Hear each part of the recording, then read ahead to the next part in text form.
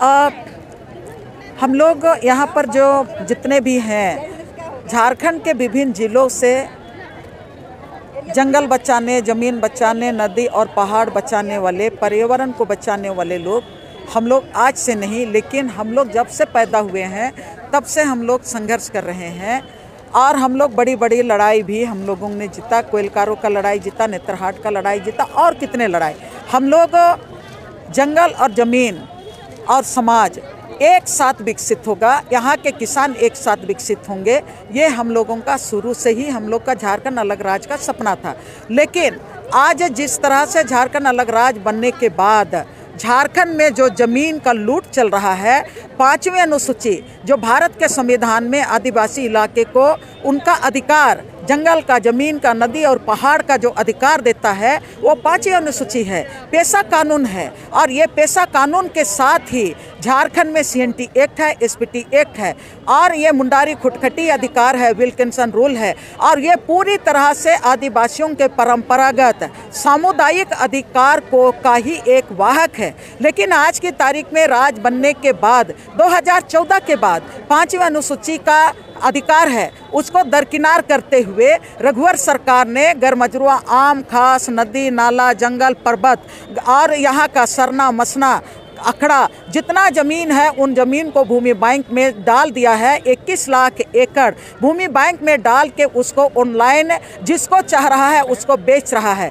तो हम लोग भूमि बैंक बैंक को रद्द करने की मांग को लेकर लगातार संघर्ष करते आए हैं। आज भी हम लोगों का मांग गवर्नर हाउस के पास आए हैं। गवर्नर हाउस से और पूरे राज, देश से हम लोग राष्ट्रपति के नाम से भी मांग सौंपे हैं कि भूमि बैंक को रद्द किया जाए और 2020 में स्वामित्व योजना और प्रॉपर्टी कार्ड मोदी सरकार ला रही है देश में। वो आदिवासी विरोधी है, किसानों के गिरोह विरोध में है, पाँचवें अनुसूची सीएनटी एक्ट एसपीटी एक्ट के खिलाफ में है। उसको पूरी तरह ध्वस्त करने वाली योजना है। उसका हम लोग विरोध कर रहे हैं और मोदी सरकार से और राष्ट्रपति से मांग कर रहे हैं कि स्वामित्व योजना प्रॉपर्टी कार्ड को रद्द करे। और उसके साथ ही यहाँ उन्नीस सौ बत्तीस का खतियान खतियान पार्ट टू में जो प्रावधान अधिकार हैं, जो समाज के सामुदायिक अधिकार हैं, उनको कड़ाई से पालन होना चाहिए। सीएनटी एक्ट का कड़ाई से पालन हो, पेशा कानून का कड़ाई से पालन हो, और खतियान में ऑनलाइन के बाद जो छेड़छाड़ हो रहा है, उसको रोका जाए। और खतियान में आज ओरिजिनल खतियान मालिक का नाम हटा के दूसरे आदमी का नाम चढ़ाया जा रहा है। यह ज़मीन का लूट का एक हिस्सा है। उसको रोका जाए। और ऑनलाइन ज़मीन करने के बाद यहाँ पर भारी मात्र भारी संख्या में ज़मीन का हेरा फेरी के कारण ज़मीन रसीद ऑनलाइन नहीं काटा जा रहा है। और ये सिर्फ़ इसलिए कि ये ज़मीन में जो हेर फेर हुआ है और उसके चलते हमारे किसान ज़मीन का रसीद, लगान रसीद नहीं काट पा रहे हैं। हम लोगों का मांग है कि उसको ठीक किया जाए और ऑफलाइन पहले की तरह जहाँ पर हल्का कर्मचारी वो ज़मीन का रसीद काटते थे, उस व्यवस्था को पुनर्बहाल किया जाए और नदी झरनों का पानी कारखाना में नहीं मैंने बड़े कप, कैपिटलिस्टों के घराने उद्योग धंधों के लिए नहीं, लेकिन किसानों के खेतों में जाए। और 2013 का जो ज़मीन अधिग्रहण कानून था 2013 जो पेशा कानून को सपोर्ट करता था, और यहाँ के किसानों को सपोर्ट करता था, यहाँ का बहुफसली की रक्षा की वकालत करती थी, इसको फिर से लागू किया जाए, ये हम लोगों का मांग है। एक ही कारण है कि अगर पाँचवें अनुसूची को लागू करेंगे तो ग्राम सभा, गाँव के परंपरागत ग्राम सभा, गाँव के किसान मज़बूत होंगे, आदिवासी समुदाय मज़बूत होगा, दलित समुदाय मज़बूत होगा, और उसके साथ ही यहाँ का मूलवासी जो कमज़ोर वर्ग है, वो मज़बूत होगा। तो कौन किन को मज़बूत करना चाहेगा?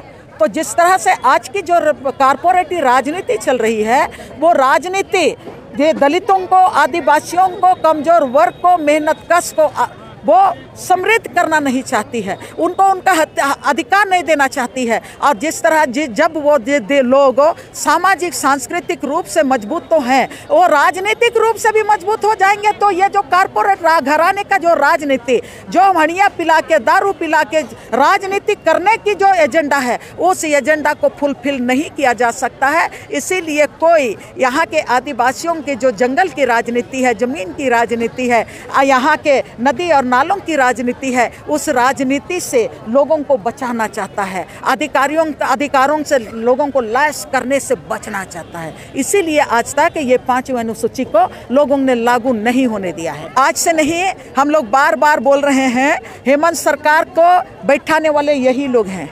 झारखंड की जनता है, हेमंत सोरेन को बैठाया है। और हेमंत सोरेन को बैठाने के पहले, जब पत्थलगढ़ी के नाम पर रघुवर सरकार ने आदिवासियों के ऊपर में हमला किया गाँव के लोगों के ऊपर में देशद्रोह का केस मढ़ा और जेल भेजा।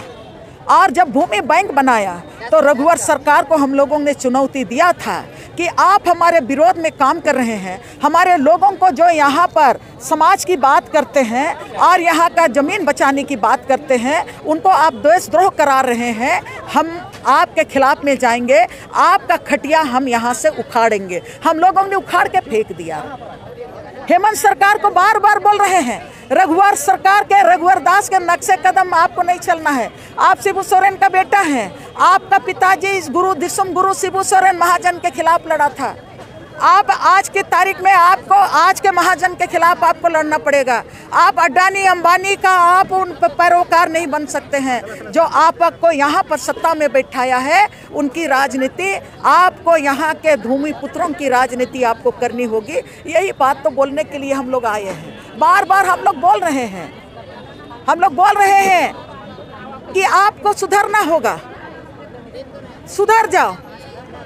आपको शोभा नहीं देगा। नहीं तो वही हसर होगा। किसान लड़ रहे हैं आदिवासी लड़ रहे हैं महिला झेल रहे हैं युवा झेल रहे हैं तब हमारे पास आखिरी लड़ाई पूरे होने जा रहे हैं तीन साल पूरे होने जा रहे हैं। हम लोग को पता है इसीलिए तो हम लोग पहले आए हैं कि सरकार को बताने के लिए। आप तीन साल में आप पटरी से बाहर थे दो साल तो चलिए कोविड से निकल गया। हम आपके साथ हैं कि कोविड से निकल गया। लेकिन ये चौथा साल और पांचवा साल को आपको आदिवासी राजनीति करनी होगी। पाँचवें अनुसूची का राजनीति करना होगा सी एन टी एक्ट का राजनीति करना होगा।